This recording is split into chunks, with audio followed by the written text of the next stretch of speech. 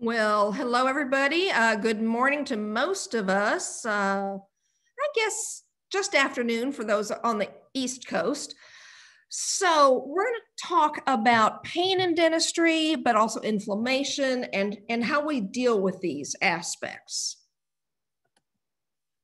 And my, there we go. Now we're now we're cooking with gas.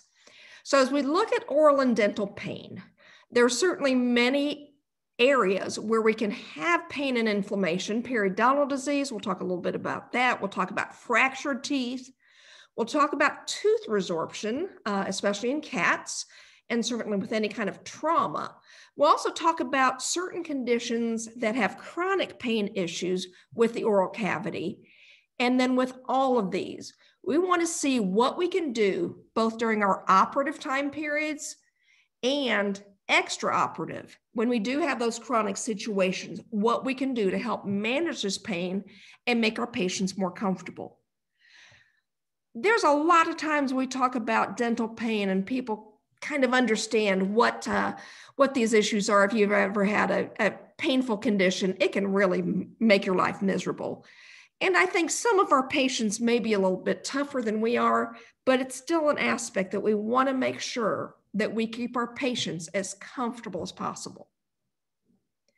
One of the interesting things about oral and dental pain, when you're actually looking at the tooth itself, beyond the gums and bone and everything else, there's specific neurons that have A, delta, and C fibers, and they can transmit heat, cold, pressure, pain, all, all the different sensations but what gets perceived by the brain is just pain. In other words, when they're doing a cold test on a tooth to see if you have pulpitis, they'll use a very uh, a cold tester and you won't tell that it's cold or hot, you'll just feel pain.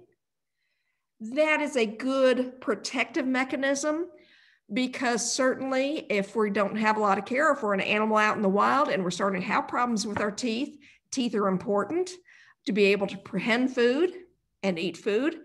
So we need to do something about it when there is discomfort.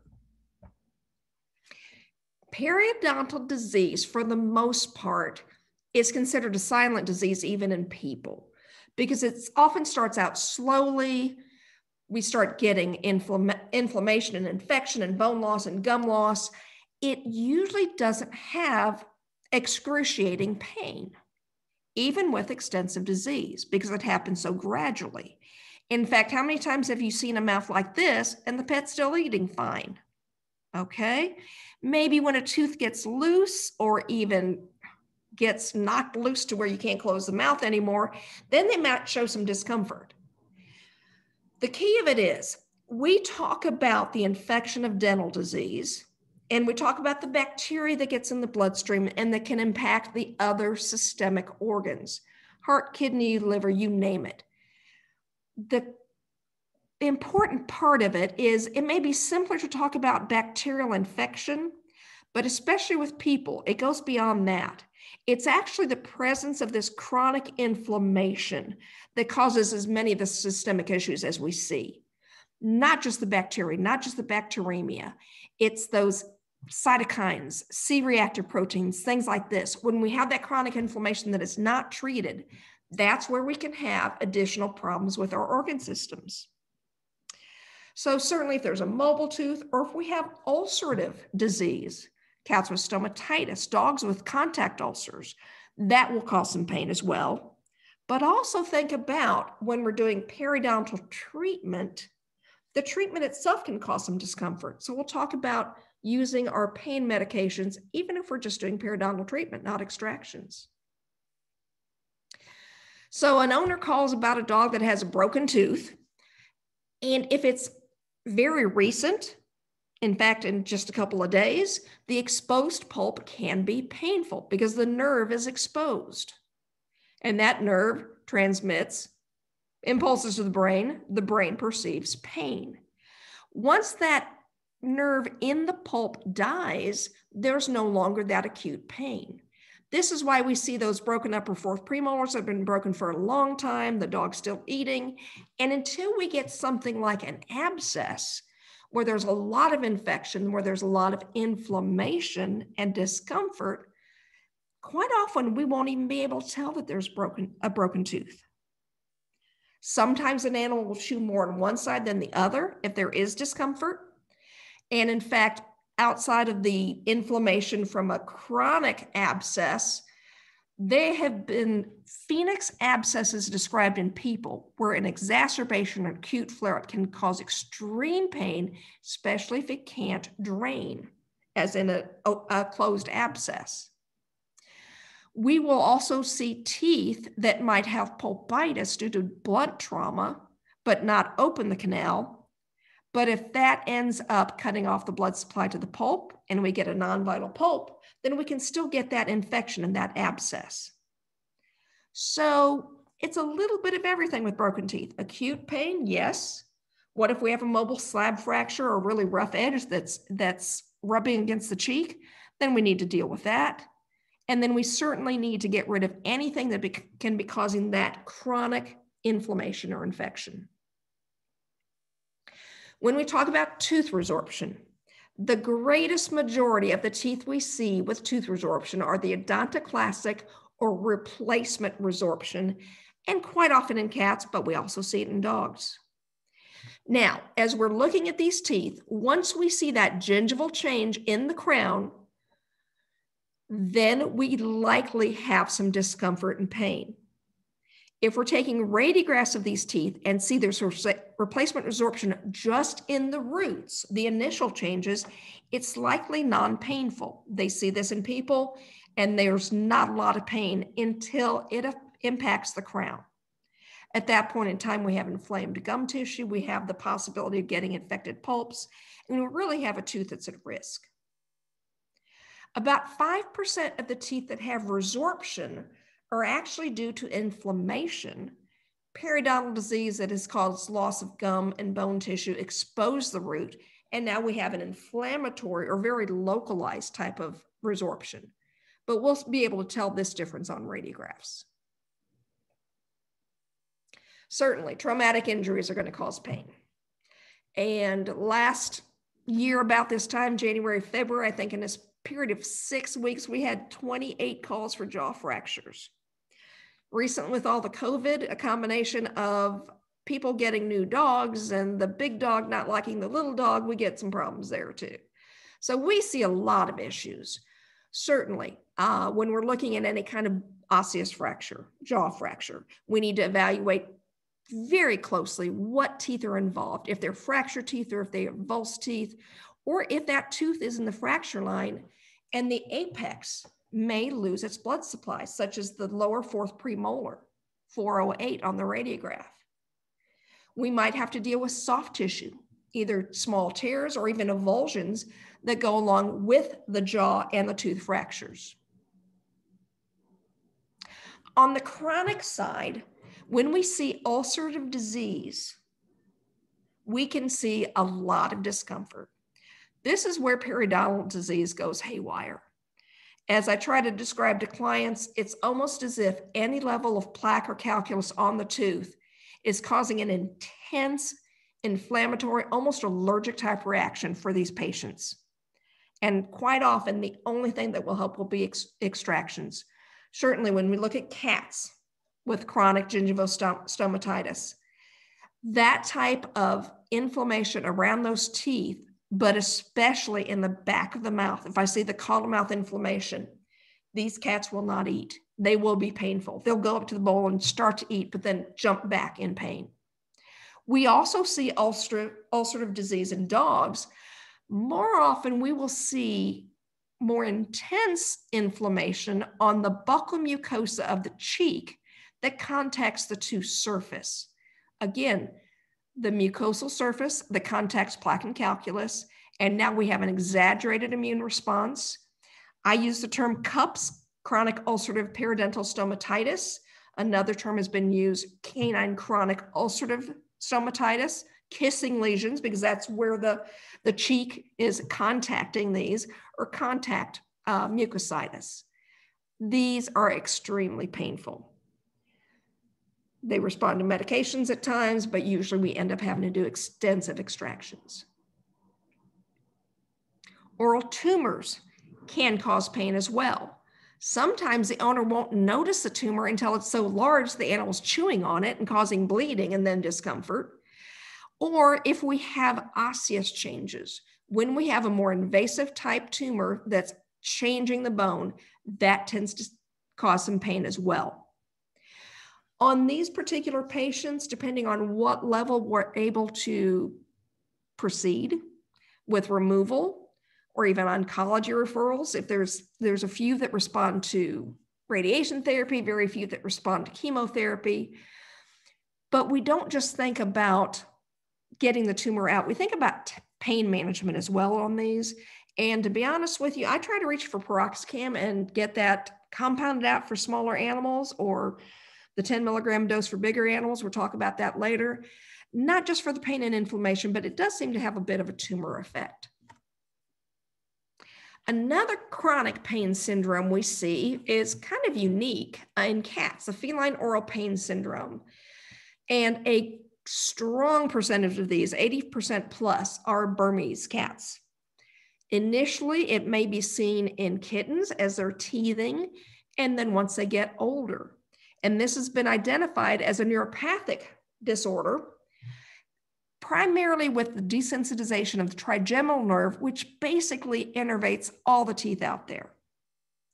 Triggers include any type of dental disease. And since teething kittens go through that process in about two months, that's a pretty good trigger. Then, as they're older, if they do have dental disease, that can be a trigger for this pain syndrome, or it's been, been identified with different stresses as well. We might even have chronic pain that's a little less distinct. Uh, dogs that are pawing at their face, grinding their teeth, rubbing their head against the floor. Sometimes we can't find a specific reason for these we take our x-rays and we don't find an abscessed tooth or a broken jaw or something that we know we can fix easily with surgery. As we look at these patients, we also like to rule out any problems with the TMJ and with the ears as well, with the bulla, tympanic bulla. So we need to do a complete evaluation of the head and neck, make sure there isn't any problems with the uh, neck as well. Sometimes it's a behavioral type issue. There's one for you, Bonnie. Um, you know, maybe they get into a, a, a type of behavior and there can be some discomfort, but it just kind of builds up there. Usually, we consider that there again is some type of neuropathy happening, and we have to deal with the comfort of the patient and find out what they respond best to. So, we're going to go back to talking about surgery. And over the years, I think we have come miles in how we're providing better pain management for our surgical patients. We start out with preoperative protocols, uh, something that will provide some sedation, but then we also look at how many pain medications we can use in a multimodal approach. Opioids are always going to be our list even when it's tough to find them. If it's appropriate for a patient, we'll look at NSAIDs, we'll look at alpha 2s, and we'll even be adding in maropitant. In our practice, we've been using a combination of a low dose hydro, a low to, uh, high dose of midazolam as our pre-anesthetic injection, just to kind of help get them a little more comfortable and get them a little happier. And we take it from there. So when we look at this preoperatives,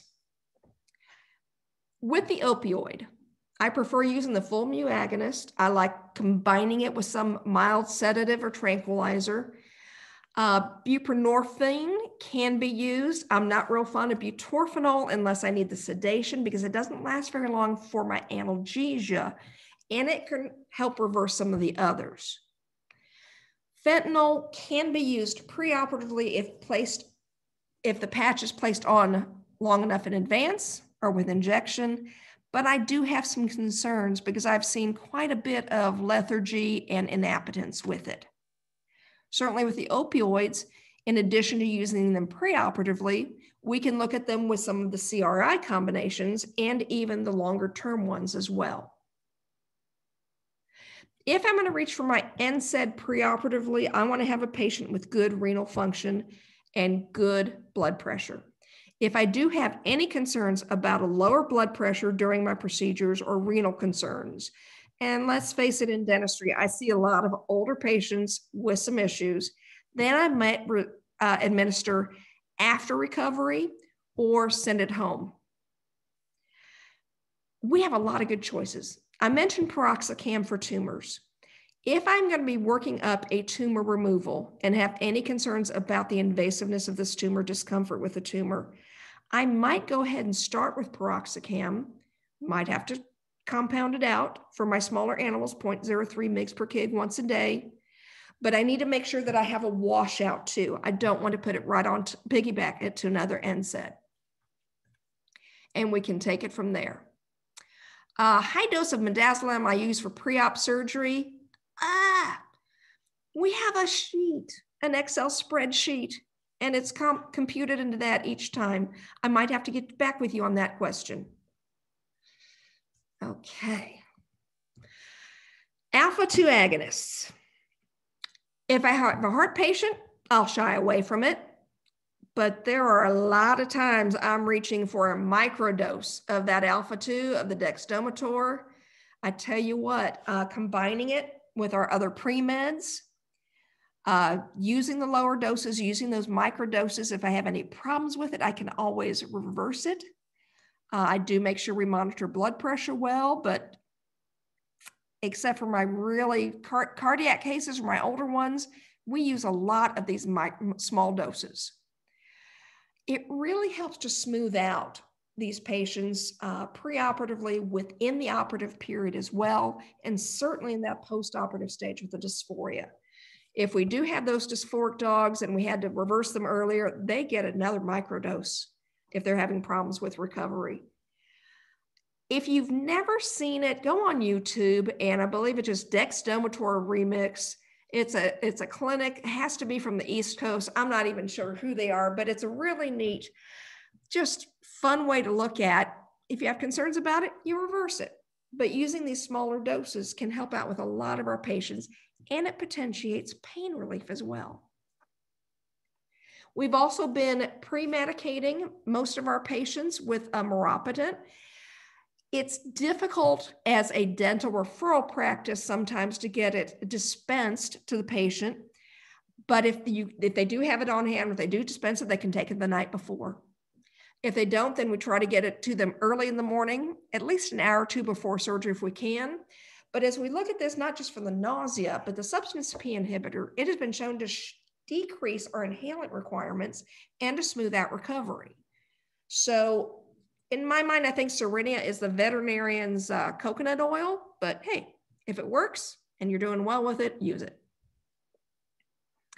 Now, once we've got them pre medicated, now we have them under anesthesia. Now we're going to start cutting or we're going to start root planing, not just cutting. If you're doing periodontal treatment, you're going to be doing any kind of gingival flaps or gingiv- gingivoplasty, gingivectomy, or deep root planing, think about your blocks.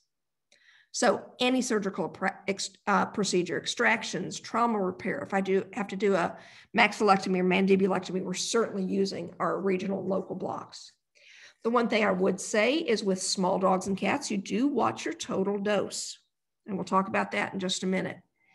But if I can get a good intro intraoperative block in, I can use less general anesthetic. I can keep the patient a little bit lighter, and they'll be more comfortable on recovery. So it's really important. When we're using these local anesthetics, it works on both a transmission and transduction. Remember that pain pathway, sodium channels. You can memorize all that portion. The key is less general anesthetic, smoother recoveries, they'll be more comfortable. And as we look at some of our longer acting local anesthetics, not just the immediate post operative period, but even up to 72 hours. And in people looking at these longer acting locals and these local combinations shows an increased return to function and decreased recuperative period. So the most common ones use lidocaine bupivacaine. I don't get the lidocaine out too often, I'll be honest with you. I'm a Marcaine fan. I prefer using the 0.5% that is pre-mixed with epinephrine, one to 200,000, pretty low dose. This has been hard to get. We've had to go to the ampules and draw it out of the ampules or use that funny looking silver syringe that dentists use. With my bupivacaine, I go no more than one mg per kg on cats. So 11 pound cat, is one cc total. If I've used anything, I will use lidocaine for intubation, little, little drop on the on the larynx there. Then I take that out of the total dose. I can use a little bit more on dogs. People have talked about combining these two to get the quickness of lidocaine with the longer acting bupivacaine, but it's shown that that doesn't really help out that much. So when you're got your patient You've identified areas you're going to be working on. Get your blocks in early. Get your x rays, get your blocks in. That way, five to 10 minutes, you'll have your bupivacaine working and it's going to work longer than your lidocaine will. Now we've got the options with having longer acting analgesia. And there are times I will add one part buprenorphine to nine parts bupivacaine. So basically, I'll take out one tenth buprenorphine, nine tenths bupivacaine, and I'll squirt the nine tenths into my one tenth, one cc syringe to help mix it up a little bit better. Using this potentiated bupivacaine can extend analgesia 24 to 72 hours, which it's, it's variable depending on the patient. What has shown more consistency with that up to 72 hours has been the liposomal injectable suspension, Nocita. It's on back order. At least we can't get it right now. The actual MIGs per kg are a little bit different, but the total amount used, I tend to keep the same. And as I use this block, I've been using it in dental blocks.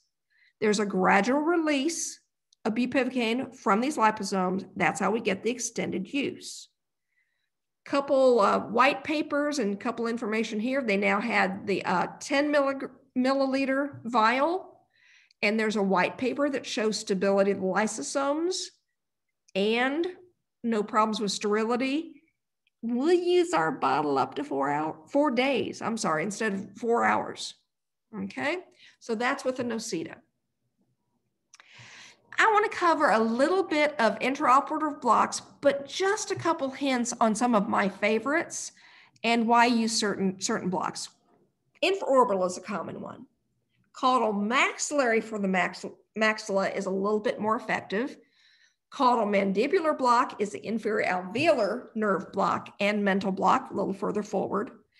You do need training. You need to be comfortable with some of these deeper blocks. I'd recommend that you go to Skulls Unlimited International and get some skulls. Now, don't type in skulls on your search and hit search. It's there's some really weird people out there. So Skulls Unlimited International, my best source for having skulls. They have all kinds of stuff on there. Great gifts. Um, even if you can't, for some reason, get a good deeper block, maybe there's infection around the site, or maybe you start to do the maxillary block and you pull back blood and you don't want to inject into a vessel.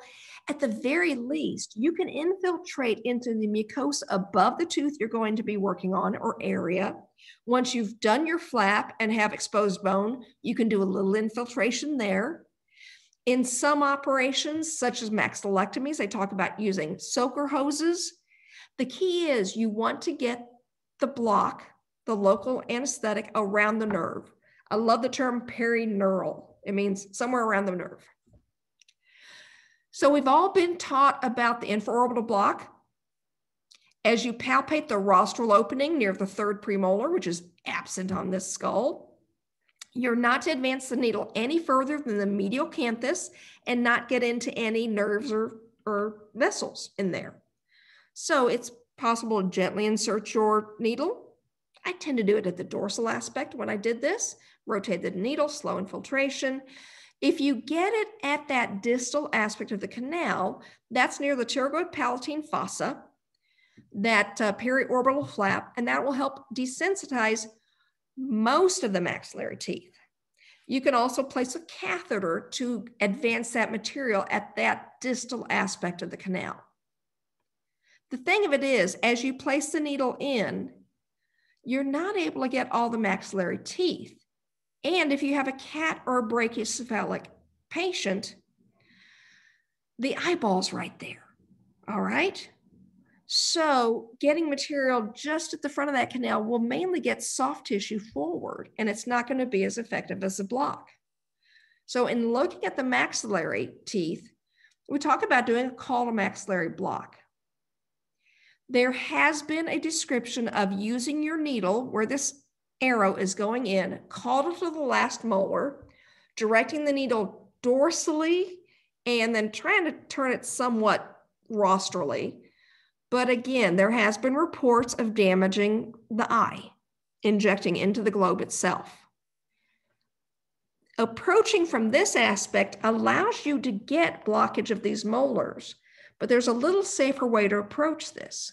And this is we're having the skulls, both of a regular dog and a brachycephalic and a cat. So you can see what you where you need to deposit this material. So I approach this maxillary block from a caudal approach I keep my needle and syringe parallel to the palatal bone and slip that needle just inside, just underneath the zygoma, but staying slightly above the palatal bone. This is a subzygomatic approach. As I aim it towards the opposite nostril, in, in other words, a little bit medially, then I can infiltrate at the back aspect of that infraorbital canal at the pterygopalatine fossa and I can continue to infiltrate a little bit that will get the branches going to these molars behind that, caudal to that canal. All right, so that's my version of the caudal maxillary block. Mental block. I like it because it's what I have on many days, mental blocks. When you're doing a mental block, you're applying your local anesthetic at the middle mental foramina of the mandibular canal. It's right there at the front. If you just apply at this area, you'll get soft tissue forward for sure. This block has had a pretty large variability in how effective it is. And that's with good technique. Now, with a larger dog, if I have a small needle, if I can gently advance into that middle mental foramen, the canine tooth apex is right in that area. And within that mental foramina, in that mandibular canal, I think we'll be able to get some infiltration that can help out. But again, it's less sure than if you were to do a complete mandibular block. So the caudal mandibular block we look at coming from the extraoral approach. I'm going to go down to the next slide. That you palpate from with your non-dominant finger, palpate the last molar. You figure out where the angular process is. You can palpate that. And on a line in between these two is the distal aspect of the mandibular canal. You can come up through the skin with your needle to approach this caudal opening and put your block in that area. If it's placed correctly, then this should impact the entire mandible. The thing we have to be cautious about, although it hasn't happened too often, but when it happens to you, you'll know about it, is that if you put too much volume there, it's going to infiltrate in a wider area. You can get the lingual nerve on that side of the tongue. And if you do it bilaterally, then the entire tongue may be desensitized. So you do need to watch these postoperatively. I do a lot of bilateral blocks on the mandibles, and I just make sure I get my block amount right next to the bone at that caudal opening of the mandibular canal and try not to spread the volume all around that sublingual area. So Again, if you can't safely perform a deeper regional block, at least get some of the local agent in the buccal mucosa above the attached gingiva. Attached gingiva closest to the tooth. If you've ever tried to put a local block there, it's very difficult because it's closely attached to the bone underneath. So I usually do a line block in the softer, looser buccal mucosa above the site. And then once that flap is raised, you can infiltrate more, more local anesthetic.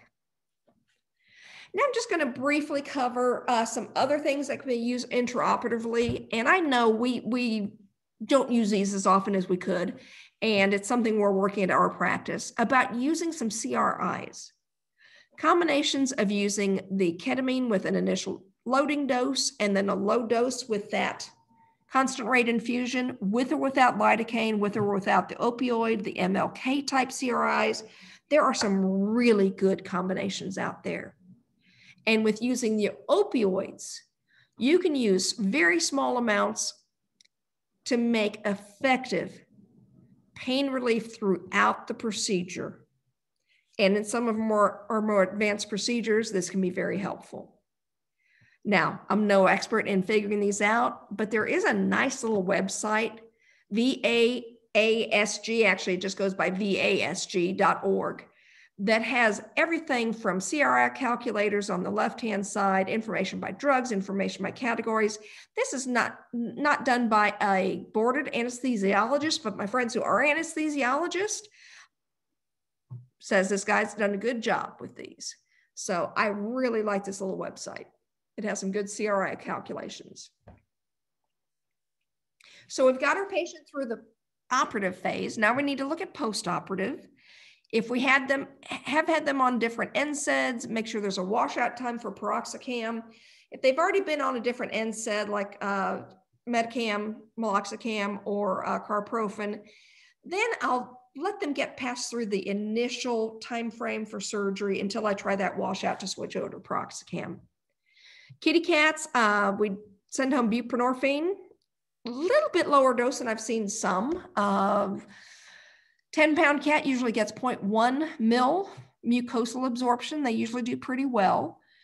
This is especially important with our stomatitis kitty cats that we've done a lot of extractions on, but we've also used either the bupivacaine with buprenorphine or the Nocita on those animals. So we have a longer local effect as well. Gabapentin we've used a number of reasons. We've used it for preoperatively for cats, uh, the fear-free type things, and we've used it as combinations with our regular pain protocols, or if we have to get them onto a long-term pain protocol, wind up. How much washout period between NSAIDs? Um, usually do seven days and gabapentin in between from the answer. I'm comfortable with 48 to 72 hours as long as they haven't shown any problems with the NSAID itself and then watching them very closely. Okay. And the biggest thing about piroxicam is that uh, gastrointestinal issues, and there's even some combinations with um, the piroxicam with people. Now, I'm not a tramadol fan. I never really have been. The data that shows that very few dogs really have the ability to have the pharmacokinetics to use this. It's a controlled drug. I'd like to be a trusting person, but there's some people out there who are just not trustworthy. If they're needing a lot of tramadol for something, we send them to a pain management specialist and find out if we can do something else for, pain. So we tend not to do a lot of uh, tramadol on dogs. It's actually more effective in cats, but it's bitter. Good luck on getting that in a cat. There's other things we look at beyond just our direct pain medications. We make sure they cannot self traumatize their face. And no, the cone of shame is not fun. It can be quite uh, challenging for some. But if it keeps them from traumatizing that surgical area, it's a must. And there's lots of variations these days. You can get the inflatable ones, you can get the ones that make them look like daisies. So whatever they need to do. Uh, for kitty cats, we'll send home that that um, gabapentin to make them happy, and trazodone for everybody. Any dog that seems to have any anxiety needs to have a little little bit less energy. We'll go with that. One of the simple things we tell people is cool compresses, especially the first 24 hours. And you might not get a dog to keep a bag of peas on their face, but uh, take a washcloth, get it wet, wring it out, put it in the freezer, let it freeze, take it out, let it get a little bit softer, and see if the patient will let you use that on their face. Now we've been looking at postoperative protocols. We've got some data with the Assisi loop looking at the um, TEMPF. And the issue here is we're looking at ways of how to getting it around the head postoperatively when these patients are a little bit uncomfortable. Uh, certain modalities such as acupuncture, we'll talk about the chronic pain as well. But once they've recovered from surgery, and if they're still having chronic pain, what I'm even to even say here is chronic inflammation, especially as we look at stomatitis cats, especially if we're looking at neuropathic inflammation, then we need to can still consider what to do with these patients. So, my stomatitis kitty cats. If I have a two week recheck and they're look, looking better than they did two weeks before. This cat was a lot better than it was two weeks before, but we still have an inflammation. I'm going to make sure that if they're eating okay, we'll still do another recheck at some point in, in time. Um, if there's still some issues, then we definitely start some additional medication or sooner if they're not if they're not eating well. And don't forget to weigh them in at this two week recheck. If they're already starting to lose a bit of weight, that's that's tough on cats. If it's just appetite, we can use certain stimulants. But if it is inflammation, we need to get them through this painful inflammatory phase. And sometimes they'll even be refractory. Uh, University of Wisconsin, they've been looking at administering doxycycline 25 to 50 milligrams once a day and that's kind of cat size, big cat, little cat, I guess. We tend to go to 25, and if they're less than about eight to nine pounds, and 50 if they're greater. You can get small flavored chews. Um, we've generally done that fish, tuna, things like that. Some people think marshmallow is a cat favorite. I haven't had my cats like them, but you never know. And certainly, as we look at combination of chronic pain, we'll look at gabapentin Chronic inflammation, I'll look at seeing if they can apply the 1TDC. They get it online, it's a esterified fatty acid, but they have to apply it daily to the gingiva. Let's see how the cat will do with that. And I've even looked at the microlactin products such as Durlactin feline on these, again, to help with the inflammation as well as the pain. The chronic pain of feline oral pain syndrome, particularly in those Burmese, Certainly, you need to make sure there aren't, aren't dental issues and you want to reduce stress, the environment, pheromones, any of the fear free type issues there. Any use of NSAIDs or corticosteroids tend to have limited effect. And once they're stopped, sometimes they'll rebound. What seems to have helped the most on these patients has been anticonvulsants such as phenobarbital. So along those lines, they feel the neuropathic, neurogenic type pain with these particular uh, patients, although other, other combinations have been used as well. Again, gabapentin, used for seizures, chronic pain, that may be appropriate for some of these cats. We can even have chronic pain if we've had previous TMJ injuries, if we've had luxations, if we've had fractures, anything like that that can cause enough damage to the TMJ joint that it can cause some uh, arthritis and even eventual ankylosis. When we're evaluating these patients, we're going to be looking at the amount of range of motion and see if that's been decreased. We're going to listen with our stethoscope as we open and close the mouth to hear any grinding or clicking, and certainly radiographs, but advanced imaging especially, particularly looking at the joint itself, but also the retrobulbar region. Now, I just wanted to share this quick picture with you. On this young cat, we had had a uh, TMJ luxation that we we're able to reduce, and we actually used sewing buttons, labial buttons, two maxillary, one right, one left, one, one mandibular in the center, And we use heavy suture material in between these buttons, both sides bilaterally, to allow the mouth to open to a certain extent, but not too much. So we don't want to splint this mouth closed because we want the TMJ to work after luxation, but we don't want them to open up the mouth so wide that it's going to reluxate. So this is a method we use both in young animals for when we have fracture repairs that we need to limit their, their oral use or with the post TMJ. Chronic pain management, we've mentioned gabapentin a couple times. I don't use it as a standalone for pain. I definitely use it for cats for fear free visit. It can make some happy cats out there. But if we anticipate chronic pain, starting them on before it winds up too bad, or even once it has wound up, looking at a multimodal approach, going with a primary pain management, NSAID, such as osteoarthritis, then adding in the gabapentin. And when I'm doing for this long term, I'd like to start it gradually, gradually build up.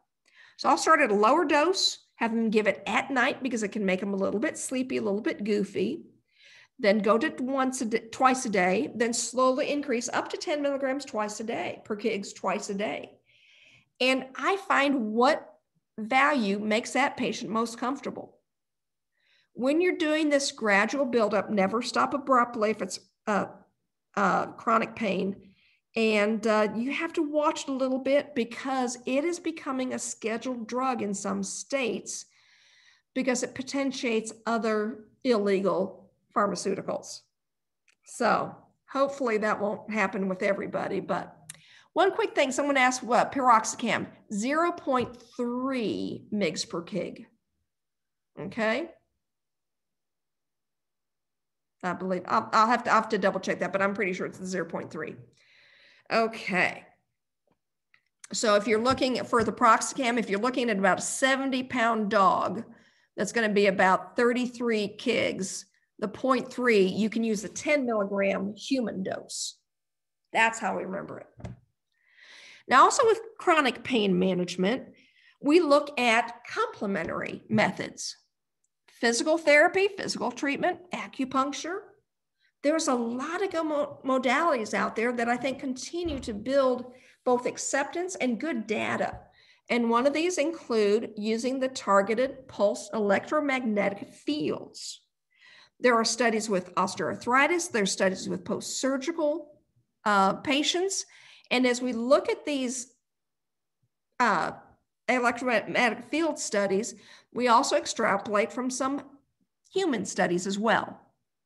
Because as you're within that loop, within that field, nitrous, nitric oxide production is enhanced, increases blood flow, modulates cytokines, so we get a decreased pain and inflammation, edema, increased tissue repair when we're looking at our postoperative. So there are coils that make a treatment field, and the area must be within this field to be treated.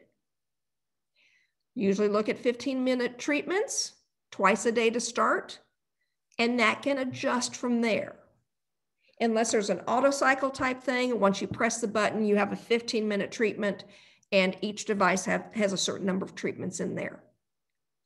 So the studies that have shown with the hemilaminectomy, go ahead, say that fast three times. So pain perception, 50% regained towards zero for the control group.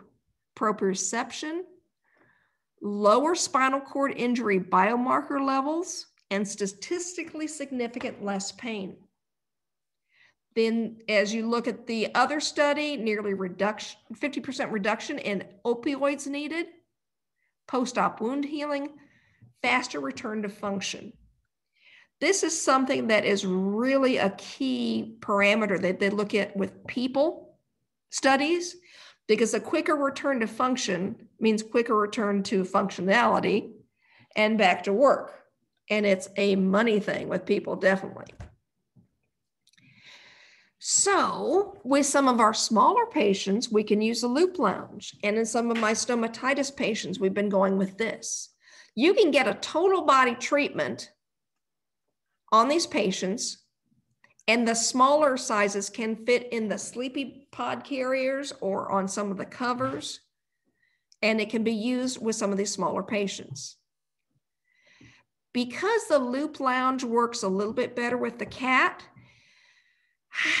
trying to find out the way to keep the region within the loop for treatment can be a little challenging coming up with some good ideas. We're always looking for uh, good good responses. I don't know if anybody has seen this air muzzle for cats. It's a pretty interesting little device uh, invented by a, a veterinarian. Can help with blood draws and there's even a piece you can put on for nebulizers we're also going to look for inflammation at treatment. Remember, I talked about inflammation. It's not just about pain, it's not just about infection, it's about the inflammation. And that's why, with the stomatitis cats, the low dose doxycycline is not being used for its antibacterial properties. It's because it's anti-collagenase. It's why cyclosporin has been used for certain stomatitis patients. It's why the microlactin that works against the winding up the neutrophils to help with the inflammation, and the 1TDC with oral inflammation and osteoarthritis. So, as we look at these patients, we look at every aspect. We look at combating the infection, we look at doing surgical treatment with pre, peri, post pain management, we look at chronic management. We look at using any type of modality that's appropriate for that patient. Because when we can give these patients relief from pain, provide analgesia, we are definitely impacting their quality of life.